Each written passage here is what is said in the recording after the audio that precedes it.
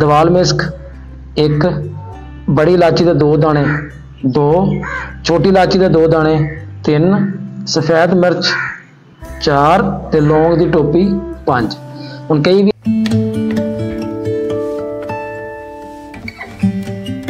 ਆਉਜ਼ ਬਿੱਲਾਹਿ ਮਿਨਸ਼ ਸ਼ੈਤਾਨਿਰ regime ਬਿਸਮਿਲ੍ਲਾਹਿਰ ਰਹਿਮਾਨਿਰ Rahim.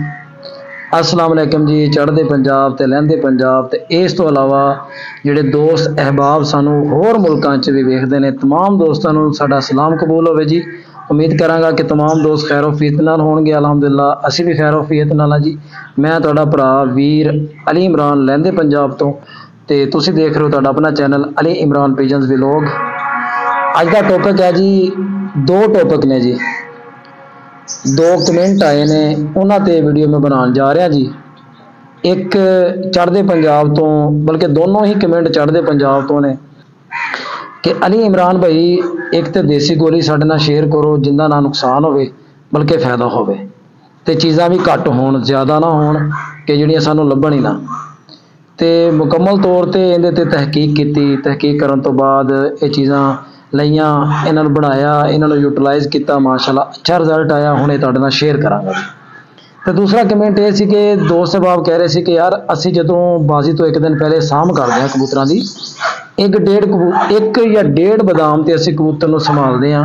ਮਤਲਬ ਕਿ ਇੱਕ ਡੇਢ ਬਦਾਮ ਸਵੇਰ ਦਿੱਤਾ ਜਾਂਦਾ ਵਾ, ਉਸ ਤੋਂ ਬਾਅਦ ਅਸੀਂ ਪਾਣੀ ਦਿੰਨੇ ਹਾਂ ਜੀ। 30 ਸੀਸੀ 40 ਸੀਸੀ ਉਹ 30 ਜਾਂ 40 ਸੀਸੀ ਪਾਣੀ ਅਸੀਂ 2-3 ਘੰਟਿਆਂ ਬਾਅਦ ਜਾਂ ਘੰਟੇ ਬਾਅਦ ਫਿਰ ਅਸੀਂ 30 ਸੀਸੀ ਜਾਂ 40 ਸੀਸੀ ਪਾਣੀ ਹੋਰ ਦੇ ਦਿੰਨੇ ਆ ਮਤਲਬ ਕਿ 11 ਵਜੇ ਤੱਕ, ਰਾਤ ਦੇ 11-12 ਵਜੇ ਤੱਕ ਉਹ ਕਬੂਤਰ ਨੂੰ ਪਾਣੀ ਹੀ ਦਿੱਤਾ ਜਾਂਦਾ ਵਾ। ਨਾਲ ਉਹਨੂੰ ਕੂਲਰ ਦੇ ਅੱਗੇ ਰੱਖ ਦਿੰਨੇ ਆ ਨਾਲ ਹੋਰ ਵੀ ਦੱਸ ਰਹੇ ਸੀ ਕਿ ਯਾਰ ਕੋਈ ਬਰਫ਼ ਹੈ, ਉਹ ਉਹਦੇ ਉੱਤੇ ਬੋਰੀ ਰੱਖ ਕੇ ਉਹਦੇ ਉੱਤੇ ਪੈਰ ਰਖਵਾਏ ਜਾਂਦੇ ਨੇ। ਤਾਂ ਜਦੋਂ ਉਹਨਾਂ ਨੂੰ ਉਡਾਇਆ ਜਾਂਦਾ ਹੈ ਤੇ ਉਹ ਕਬੂਤਰ ਫਿਰ ਵੀ ਸਾਡੇ ਪਾਣੀ ਤੇ ਜਾਂਦੇ ਨੇ। ਇਹਦੀ ਕੀ ਵਜ੍ਹਾ ਹੈ? ਪਹਿਲੀ ਗੱਲ ਤੇ ਇਹ ਵੇ ਵੀਰੋ ਕਿ ਇਹ ਤਰੀਕਾ ਹੀ ਗਲਤ ਹੈ। ਠੀਕ ਹੈ? ਕਿਉਂਕਿ ਕਬੂਤਰ ਨੂੰ ਮੁਕੰਮਲ ਤੌਰ ਤੇ ਠੰਡਾ ਕੀਤਾ ਜਾਂਦਾ ਹੈ ਤੇ ਠੰਡਾ ਕਬੂਤਰ ਹੀ ਪਾਣੀ ਤੇ ਜਾਂਦਾ ਹੈ ਵੀਰ ਜੀ। ਤਰ ਗਰਮ ਕਬੂਤਰ ਪਾਣੀ ਤੇ ਨਹੀਂ ਜਾਂਦਾ। ਤੇ ਇਸ ਦਾ ਜਵਾਬ ਮੰਗਿਆ ਸੀ ਉਹਨਾਂ ਨੇ ਮੇਰੇ ਕੋਲੋਂ ਕਿ ਅਲੀ ਇਮਰਾਨ ਭਾਈ, ਤੁਸੀਂ ਇਹਦਾ ਜਵਾਬ ਦਿਓ। ਉਹਨਾਂ ਦਾ ਨਾਮ ਹੈ ਅਮਨਦੀਪ, ਇੱਕ ਦਾ ਭਾਈ ਦਾ ਨਾਮ ਹੈ ਜਸਦੀਪ ਇੱਕ ਦਾ ਨਾਮ ਗੁਰਦੀਪ, ਇਸ ਤਰੀਕੇ ਕਰਕੇ ਲਹਿਦਾ ਲਹਿਦਾ ਦੋਸਤ ਨੇ ਜਿਨ੍ਹਾਂ ਨੇ ਮੈਸੇਜ ਕਨਵੇ ਕੀਤੇ। ਤੇ ਅਸੀਂ ਉਹਨਾਂ ਦਾ ਰਿਪਲਾਈ ਦੇਣ ਦੀ ਕੋਸ਼ਿਸ਼ ਕਰਾਂਗੇ, ਉਮੀਦ ਹੈ ਕਿ ਤੁਹਾਨੂੰ ਸਮਝ ਆ ਜਾਏਗੀ। ਫਸਟ ਆਫ ਆਲ ਤੇ ਇਹ ਵੇ ਦੇਖੋ ਜੀ, ਵੀਰ ਜੀ, ਮੇਰੀ ਸਮਝ ਤੋਂ ਬਾਹਰ ਹੈ ਗੱਲ ਕਿ ਇੱਕ ਅਸੀਂ ਇਨਸਾਨ ਆ ਸਾਨੂੰ ਸਵੇਰ ਦੋ ਬੁਰਕੀਆਂ ਖਾਣੇ ਦੀ ਦੇ ਕੇ ਉਤੋਂ ਇੱਕ ਕੂਲਰ ਪਾਣੀ ਦਾ ਦੇ ਦਿੱਤਾ ਜਾਵੇ, ਤੇ ਤੁਸੀਂ ਦੱਸੋ ਤੁਹਾਡਾ ਕੀ ਹਾਲ ਹੋਏਗਾ? ਜਾਂ ਇੱਕ ਜੱਗ ਪਾਣੀ ਦਾ ਤੁਹਾਨੂੰ ਦੇ ਦਿੰਨੇ ਆ ਤੁਹਾਡੀਆਂ ਰੋਟੀਆਂ ਰਹਿ ਜਾਣਗੀਆਂ, ਪਾਣੀ ਹਜ਼ਮ ਹੁੰਦਾ ਜਾਏਗਾ, ਪਾਣੀ ਨਿਕਲਦਾ ਜਾਏਗਾ। ਉਹ ਨਹੀਂ ਹਜ਼ਮ ਹੋਣਾ। ਦੋ ਸਹਿਬਾਬ ਇਹ ਕਹਿੰਦੇ ਨੇ ਕਿ ਜੀ ਅਸੀਂ ਉਹ ਛਿੱਟੀ ਦਾ ਜਿਹੜਾ ਪਾਣੀ ਹੁੰਦਾ ਨਾ ਜੀ, ਕਬੂਤਰ, ਇੱਕ ਤੇ ਪੋਟ ਹੁੰਦੀ ਆ, ਇੱਕ ਛਿੱਟੀ ਹੁੰਦੀ ਹੈ ਜਿਹੜਾ ਛਿੱਟੀ ਦਾ ਪਾਣੀ ਹੈ ਨਾ ਜੀ, ਅਸੀਂ ਉਹ ਕਢਵਾਉਣ ਵਾਸਤੇ, ਅਸੀਂ ਉਹਨੂੰ ਬਿਲਕੁਲ ਸਾਫ਼ ਕਰਨ ਵਾਸਤੇ ਪਾਣੀ ਦਿੰਨੇ ਆ। ਉਹ ਵੀਰੋ, ਜਦੋਂ ਤੁਸੀਂ ਵਾਰੀਆਂ ਲੈਂਦੇ ਹੋ, ਉਦੋਂ ਵੀ ਐਵੇਂ ਕਰਦੇ ਹੋ। ਨਹੀਂ ਕਰਦੇ ਨਾ? ਨਹੀਂ ਕਰਦੇ। ਤੇ ਫਿਰ ਭਾਈਜਾਨ ਤੁਸੀਂ ਕਬੂਤਰ ਦੀ ਕਿਉਂ ਜਾਨ ਲੈਣ ਵਾਸਤੇ ਸ਼ੁਰੂ ਹੋ ਜਾਂਦੇ ਹੋ? ਇਸ ਤਰੀਕੇ ਕਰਨਾ ਯਾਰ ਗਲਤ ਹੈ। ਛਿੱਟੀ ਦਾ ਪਾਣੀ ਅਗਰ ਕੱਢਣਾ ਹੈ ਨਾ, ਤੇ ਰਾਤ ਨੂੰ ਅਗਰ ਤੁਹਾਡੀ ਹਾਰ ਜਿੱਤ ਤੇ 3-4 ਵਜੇ, ਤੇ ਕਬੂਤਰ ਨੂੰ 3 ਵਜੇ ਪਲਟਾ ਕੇ ਉਸ ਤੋਂ ਉੱਤੋਂ 10 ਕੁ ਸੀਸੀ ਪਾਣੀ ਦੇ ਦਿੱਤਾ ਜਾਵੇ, ਤੇ ਕਬੂਤਰ ਵੈਸੇ ਛਿੱਟੀ ਸਾਫ਼ ਕਰ ਜਾਏਗਾ। ਮਸਲਾ ਹੀ ਕੋਈ ਨਹੀਂ ਹੈਗਾ। ਇੰਨੇ ਸੀਸੀ ਪਾਣੀ ਦੇ ਕੇ ਛਿੱਟੀ ਨਹੀਂ ਸਾਫ਼ ਹੁੰਦੀ, ਜਿੰਨਾ ਜਿਵੇਂ ਤੁਹਾਨੂੰ ਦੱਸਿਆ, ਐਵੇਂ ਹੁੰਦੀ ਹੈ ਜੀ। ਠੀਕ ਹੈ? ਤੇ ਮੇਰੀ ਗੱਲ ਦੀ ਕੋਈ ਕਈ ਦੋਸਤਾਂ ਨੂੰ ਸਮਝ ਆਈ ਹੋਏਗੀ ਕਿ ਮੈਂ ਕੀ ਕਹਿਣਾ ਚਾਹ ਰਿਹਾ ਵਾਂ ਕਿ ਵਾਰੀਆਂ 'ਚ ਤੁਹਾਡੇ ਕਬੂਤਰ ਅੱਛੇ ਉੱਡ ਰਹੇ ਹੁੰਦੇ ਨੇ। ਤੇ ਜਦੋਂ ਸ਼ਾਮ ਦਾ ਟਾਈਮ ਆਉਂਦਾ ਤੇ ਉਦੋਂ ਤੁਸੀਂ ਪਾਣੀ ਦੇਣਾ ਸਟਾਰਟ ਕਰ ਦਿੰਦੇ ਹੋ, ਭਾਈ ਜਾਨ, ਐਵੇਂ ਕਰਨਾ ਨਹੀਂ ਠੀਕ। ਤੇ ਕਬੂਤਰ ਫਿਰ ਠੰਡਾ ਹੀ ਜਾਂਦਾ ਹੈ, ਮੂੰਹ ਪੱਟਦਾ ਹੈ, ਥੱਲੋਂ ਕਾਲਾ ਵੀ ਹੋ ਜਾਂਦਾ ਹੈ ਤੇ ਜਾ ਕੇ ਬਾਹਰ ਛੱਪੜਾਂ 'ਚ ਵੀ ਡਿੱਗਦਾ ਹੈ, ਪਾਣੀ 'ਚ ਵੀ ਡਿੱਗਦਾ ਹੈ।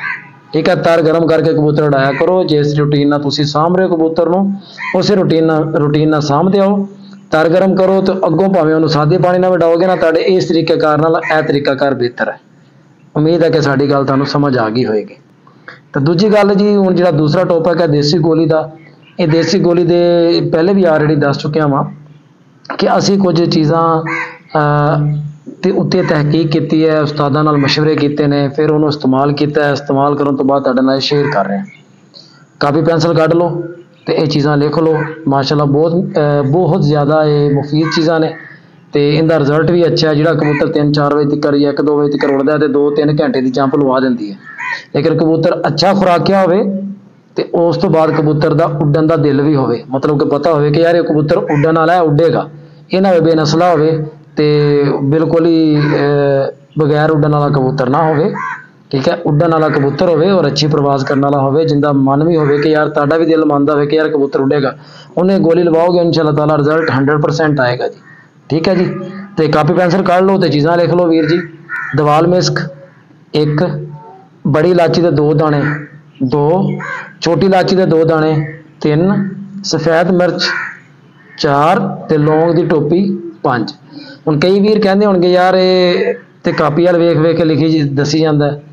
ਉਹ ਵੀਰ ਜੀ, ਮੈਂ ਚਾਹਨਾ ਵਾਂ ਕਿ ਕੋਈ ਚੀਜ਼ ਮੇਰੇ ਜ਼ਿਹਨ ਚੋਂ ਨਾ ਨਿਕਲ ਜਾਵੇ। ਅਸੀਂ ਇਨਸਾਨ ਆ, ਫਰਿਸ਼ਤੇ ਨਹੀਂ ਹੈਗੇ। ਕਈ ਚੀਜ਼ਾਂ ਬੰਦਾ ਭੁੱਲ ਵੀ ਜਾਂਦਾ। ਹੈ। ਤੇ ਅਗਰ ਭੁੱਲਾਂਗਾ ਤੇ ਉਹਦੇ ਚ ਮੇਰਾ ਨੁਕਸਾਨ ਘੱਟ ਤੇ ਤੁਹਾਡਾ ਬਹੁਤ ਹੈ ਠੀਕ ਹੈ ਜੀ, ਹੁਣ ਇਹਦਾ ਬਣਾਉਣ ਦਾ ਤਰੀਕਾ ਕੀ ਹੈ ਜੀ? ਛੋਟੀ ਇਲਾਚੀ ਦੇ ਦੋ ਬੀਜ ਪਹਿਲੇ ਕੁੱਟ ਲੈਣੇ ਨੇ, ਫਿਰ ਵੱਡੀ ਇਲਾਚੀ ਦੇ ਦੋ ਬੀਜ ਕੁੱਟ ਲੈਣੇ ਨੇ, ਫਿਰ ਸਫੈਦ ਕਾਲੀ ਮਿਰਚ ਕੁੱਟ ਲੈਣੀ ਤੇ ਉਸ ਤੋਂ ਬਾਅਦ ਲੌਂਗ ਦੀ ਟੋਪੀ ਕੁੱਟ ਕੇ ਇੱਕ ਜਾਨ ਕਰ ਲੈਣਾ, ਇਹਨਾਂ ਦਾ ਸਫੂਫ ਬਣਾ ਲੈਣਾ ਫੁੱਲ ਟਾਈਮ ਬਹੁਤ ਅੱਛੇ ਤਰੀਕੇ ਨਾਲ ਇਹਦੀ ਰਗੜਾਈ ਕਰਨੀ ਹੈ ਕਿ ਬਿਲਕੁਲ ਇੱਕ ਜਾਨ ਹੋ ਜਾਣ ਤੇ ਇਹਨਾਂ 'ਚ ਉਹ ਕਚਰਾ ਮਚਰਾ ਨਾ ਹੋਵੇ, ਬਿਲਕੁਲ ਪਾਊਡਰ ਬਣ ਜਾਵੇ। ਓਕੇ ਜੀ, ਇਹ ਪਾਊਡਰ ਬਣੇਗਾ ਤੇ ਰਿਜ਼ਲਟ ਆਏਗਾ। ਜਿੰਨਾ ਇਹਨਾਂ ਚਾਰਾਂ ਚੀਜ਼ਾਂ ਦਾ ਪਾਊਡਰ ਬਣੇਗਾ, ਉਨੀ ਹੀ ਦਵਾਲ ਮਿਸਕ ਵਿੱਚ ਪਾ ਕੇ ਇਹਨਾਂ ਨੂੰ ਚੰਗੀ ਤਰੀਕੇ ਨਾਲ ਇੱਕ ਜਾਨ ਕਰਕੇ ਇਹਦੀ ਗੋਲੀ ਵੱਟ ਕੇ ਰੱਖ ਲੈਣੀ ਹੈ ਤੁਸੀਂ। ਠੀਕ ਹੈ ਜੀ? ਹੁਣ ਕਹੋਗੇ ਜੀ, ਇਹਦਾ ਤਰੀਕਾ ਇਸਤੇਮਾਲ ਕੀ ਹੈ? ਜੀ, ਬਿਲਕੁਲ। ਉਹਦਾ ਵੀ ਤਰੀਕਾ ਵੀ, ਇਹ ਤਰੀਕਾ ਵੀ ਤੁਹਾਨੂੰ ਦੱਸਾਂਗੇ ਕਿ ਇਹਦਾ ਇਸਤੇਮਾਲ ਕੀ ਹੈ। ਰਾਤ ਨੂੰ ਤੁਸੀਂ ਕਬੂਤਰ ਨੂੰ ਤਰ ਗਰਮ ਕਰੋ। ਅਗਰ ਮੌਸਮ ਬਹੁਤ ਜ਼ਿਆਦਾ ਗਰਮ ਹੈ, ਠੀਕ ਹੈ? ਅਗਰ ਨਾਰਮਲ ਮੌਸਮ ਹੈ ਤਾਂ ਤੁਸੀਂ ਉਹਨੂੰ ਗਰਮ ਕਰ ਲਵੋ। ਤੇ ਜਿੰਨਾ ਪਾਣੀ ਤੁਹਾਡਾ ਕਬੂਤਰ ਚੁੱਕਦਾ ਹੈ, ਮਤਲਬ ਕਿ 20 ਸੀਸੀ ਚੁੱਕਦਾ ਹੈ, ਇਹ ਗੋਲੀ ਦਿਓ ਤੇ ਉੱਤੋਂ 35 ਸੀਸੀ ਪਾਣੀ ਦਿਓ ਤੇ ਅੱਲਾ ਦੇ ਸਪੋਰਟ ਕਰੋ। ਇਨਸ਼ਾਅੱਲਾ ਤਾਲਾ ਰਿਜ਼ਲਟ 100% ਆਏਗਾ। ਠੀਕ ਹੈ ਜੀ? 10 ਤੋਂ 15 ਸੀਸੀ ਤੁਸੀਂ ਵਧਾ ਕੇ ਪਾਣੀ ਦੇਣਾ। ਠੀਕ ਹੈ ਜੀ? ਤੇ ਉਮੀਦ ਹੈ ਕਿ ਸਾਡੀ ਅੱਜ ਦੇ ਜਿਹੜੇ ਟੌਪਿਕ ਹੈ, ਇਹਦੇ ਤੇ ਜਿਹੜੀ ਵੀਡੀਓ ਬਣੀ ਹੈ, ਤੁਹਾਨੂੰ ਪਸੰਦ ਆਈ ਹੋਵੇਗੀ ਅਗਰ ਵੀਡੀਓ ਪਸੰਦ ਆਵੇ ਤਾਂ ਲਾਈਕ ਕਰੋ ਕਮੈਂਟ ਕਰੋ। ਜਿਹੜੇ ਤੁਸੀਂ ਕਮੈਂਟ ਕਰੋਗੇ ਇਹਨਾਂ ਕਮੈਂਟਾਂ ਦੀ ਅਸੀਂ ਵੀਡੀਓ ਲੈ ਕੇ ਹਾਜ਼ਰ ਹੋਵਾਂਗੇ। ਬਾਕੀ ਅਗਰ ਅੱਛੇ ਕਮੈਂਟ ਆਉਂਦੇ ਨੇ ਤੇ ਸਾਨੂੰ ਮੋਟੀਵੇਸ਼ਨ ਮਿਲਦੀ ਹੈ, ਅਗਰ ਬੈਡ ਕਮੈਂਟ ਆਉਂਦੇ ਨੇ ਤੇ ਕੋਈ ਐਸੀ ਗੱਲ ਨਹੀਂ ਜੀ। ਅਸੀਂ ਇਨਸ਼ਾਅੱਲਾ ਤਾਲਾ ਮਜ਼ੀਦ ਅੱਛੀ ਕੋਸ਼ਿਸ਼ ਕਰਕੇ ਹਾਜ਼ਰ ਹੋਵਾਂਗੇ। ਤੇ ਹੁਣ ਅਸੀਂ ਤੁਹਾਡੇ ਤੋਂ ਇਜਾਜ਼ਤ ਚਾਹਾਂਗੇ, ਤੁਸੀਂ ਆਪਣਾ ਤੇ ਆਪਣੇ ਪਿਆਰਾਂ ਦਾ ਖਿਆਲ ਰੱਖੋ, ਆਪਣੀ ਸਿਹਤ ਦਾ ਖਿਆਲ ਰੱਖੋ। ਅਗਰ ਅੱਲਾ ਨੇ ਜ਼ਿੰਦਗੀ ਰੱਖੀ ਤੇ ਜ਼ਿੰਦਗੀ ਨੇ ਵਫਾ ਕੀਤੀ ਤੇ ਇਨਸ਼ਾਅੱਲਾ ਤਾਲਾ ਨਵੀਂ ਵੀਡੀਓ ਲੈ ਕੇ ਹਾਜ਼ਰ ਹੋਵਾਂਗਾ ਜੀ। ਵਸਲਾਮ।